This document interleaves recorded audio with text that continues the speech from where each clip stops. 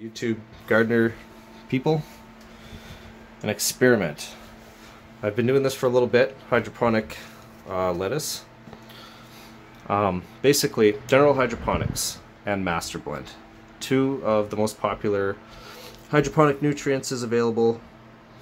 Now, I've done some experimenting to get the best possible results with the general hy uh, hydroponics MaxiGro.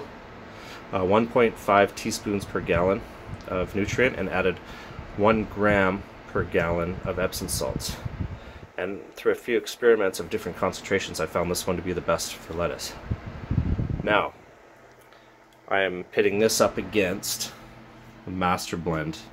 The, you can Google it, it's the blend everybody uses, the tomato formula with the calcium nitrate and Epsom salt.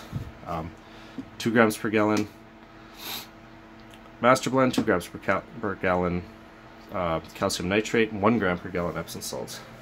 So here's a comparison. This is about three or weeks, maybe a month. I can't remember. Um, so far, we got mixed results. So it looks like, you know, so far the Master Blend is doing a lot better with some varieties. Um, mainly these guys here.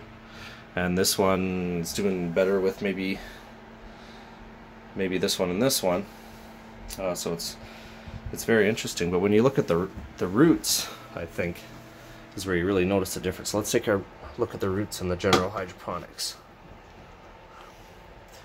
Healthy white roots. Um, they look pretty good. Now let's take a look at the uh, master blend roots. So as you can see, we've got already a lot bigger root system in the master blend plants. So um, very interesting. I'll do I'll do an update, see how this is going in a week or two.